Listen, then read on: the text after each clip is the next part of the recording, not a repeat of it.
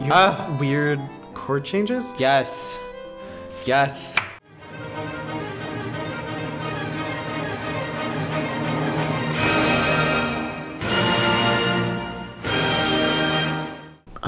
You're now reacting to the solo artist Ahn Yeeun, who is the runner-up of the fifth season of K-pop Star. Her style combines many genres of music, including traditional Korean music, which can be mainly heard in her vocals. Same Thought was released as a single in 2017. The lyrics express her feelings after a breakup. Two people who once shared the same thought of love are no longer together, and Ahn Yeeun says that the other person will soon share the same thoughts of sorrow because of loss. The song is composed and written by Ahn Yeeun.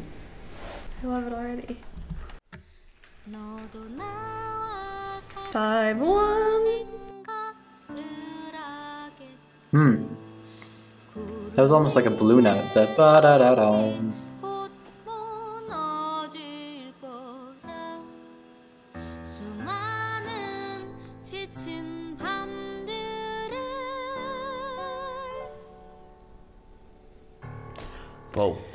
Get it though. I see these folky aspects of her voice. Man, this is weird.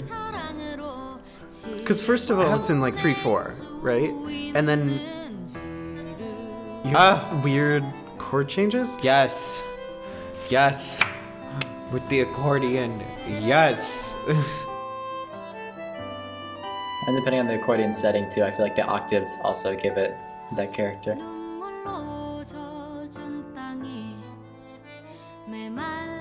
Wonder, I'm assuming from what you said that that da ba ya ya da da da that might be characteristic of Korean traditional style. She has a very folksy way of singing. It's combining some like that traditional, yeah, inflection. Yeah, like little grace notes. Da. And it's very in pitch, so it's really refined.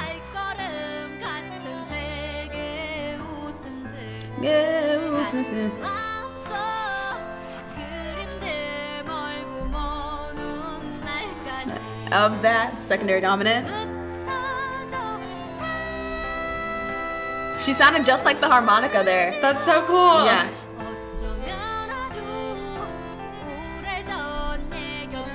This is like a light swing ballad.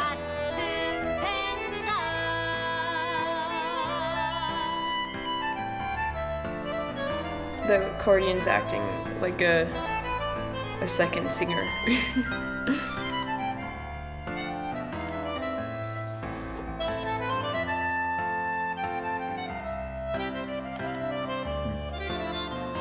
I also really like this. It feels like improv, the accordion doing Oh, with all I'm of the sure it is. ornamentation. It's Yeah. really cool.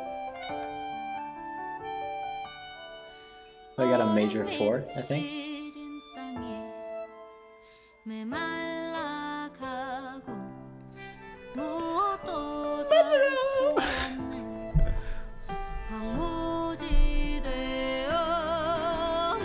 Yo, she's got some soul.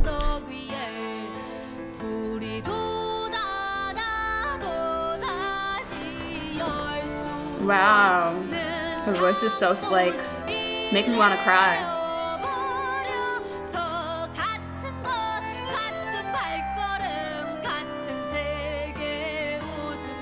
Wow, she's really going for it. I appreciate that. It's really cool.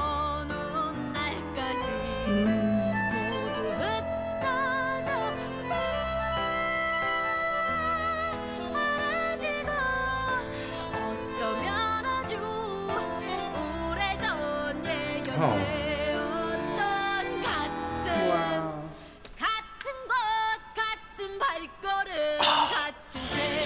Wow.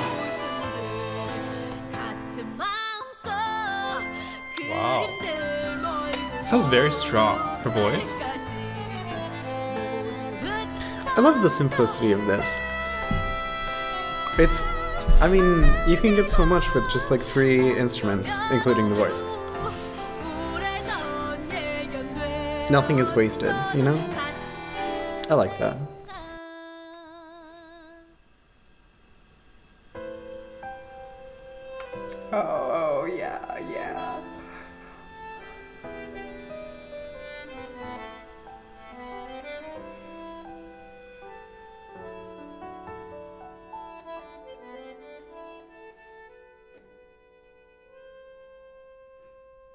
Ooh.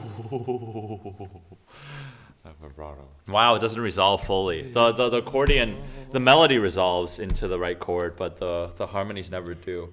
That was a tasty ending with great musical collaboration right there. Yeah, it's only like a lament, lament bass at the end. Oh, it's like going down, down, down. You hear like the what do you call that again? Contrary motion, Mm-hmm. and then that accordion hits that that minor third, three, and it's like IAC, and you're like, oh, Literally. it doesn't end the page. Oh. Oh, IAC, imperfect authentic cadence. Oh, I want to play the accordion. Mm. That was Loved it. 10 out of 10. What made it a 10 out of 10 for you?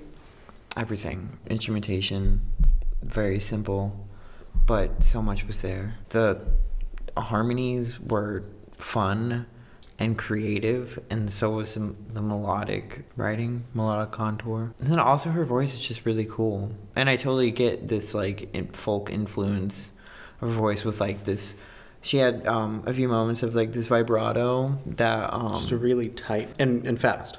yeah, and it seemed kind of trained or like a technique that people like Western style singers don't really do that type of vibrato. You know, Yeah, They- we've already it's- got like the wider, like yeah, it goes wider and then faster as you like Yes. get towards the end. I loved it. full stop, full I- stop. I like I don't Double comment bar. about people's voices a lot because I really like that's not usually what I love about a song. I loved her voice. I thought Don't you love how much um, correct control she has over the variety of like when sounds she she would can make? just switch into her head voice and Yeah. it's effortless and then would go back and like really get like that growl kind of Yeah. oh There's a part of me, the classically singed like, like the, the singer, tension Oh, that will like gives me that visceral worried feeling of like, oh man, that could don't hurt yourself could I couldn't have felt good. But it's a different culture and style of singing she's using, uh, and it's not like that's the only kind of singing she can produce. She has some really good, really free sounding moments where it seems uh sounds to me effortless and well sustained, like mm, well supported, free singing. There's some good bits with vibrato in there too. So it's what, th- what that tells me is that she has a good control over how she can use her voice as an instrument to produce different styles of musical expression, which is a which is a big feat for a musician to be able to be versatile. Ah, so there's something about folk singing folk, and it just sounds a little bit rough on the edges, but that's not a bad thing because in this case it makes it so distinct from all the pop music where it's like the tempo's very straight. I was like the way they sing it needs to be like pitch perfect all the time. It's like they got to slide into it in the same way. Yeah, it's very interesting. You have something a little bit rougher on the edges, and then you have something really clean, the accordion, and just streamlining it all at once because it's contrasting with the shorter da da da da da ba da dee da da. It's like very Staccato. staccato, and then you have a very legato accordion line. And so mm-hmm. having that contrast definitely gives it more color and more nuance to it, and more. Well, it expands the idea of same thought. It's like even though it's the same, like the the vocalist and the piano are playing at the same time, there's a difference because it continues to grow within the mm-hmm. same thought. So, very interesting. So who hurt her? I really want to know. Like, what is she going through?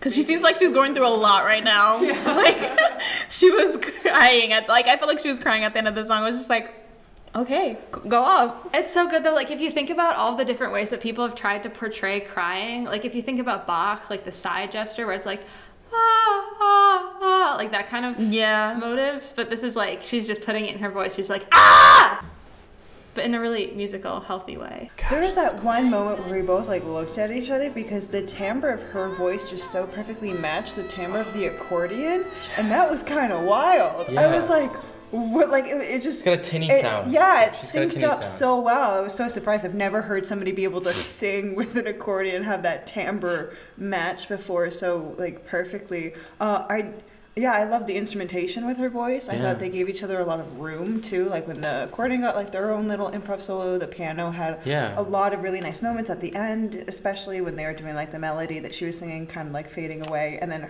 them giving her room to just do whatever she wanted. That was great, and like they would like cut away and just be her singing. They were able to work out a really good working relationship, I think. Uh, collaboration, like a, a very good musical collaboration, because it really fit together.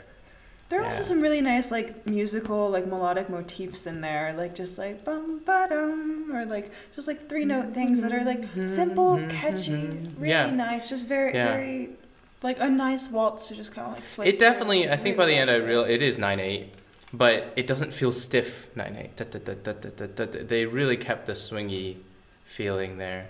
in most classical music, what um, is normal is to take the beat and to sort of like end the idea and the phrase, and then start a new phrase on the, the next beat. So if I were to sing Twinkle Twinkle, I could sing Twinkle Twinkle Little Star, or I could sort of end at each beat and then go into the next beat with the, the upbeat eighth note. So Twinkle Twinkle Little Star, you know, sort of leading into the next quarter note. Whereas this was much more dum ba dum bum bum ba dum, which is just different from the style. Yeah. I've been pretty I yeah, I think one of the things that especially in like classical music that we think about a lot is like the line of your phrasing. So like if we're thinking like twinkle twinkle little star, like the peak of the phrase isn't like based in one measure. There's like four measures that have the phrase. So it's like mm-hmm. twinkle twinkle little star, how I wonder what you are. So it's like it's leading somewhere. Whereas like one of the things we were commenting on in this song is how like the way that she's using accent and emphasis in her singing is very much like what the accompaniment is doing in the piano, where the first beat of every measure is very accented, and then there's kind of like it's not staccato, but it's like marcato, sort of like shortened chords um, in the right hand.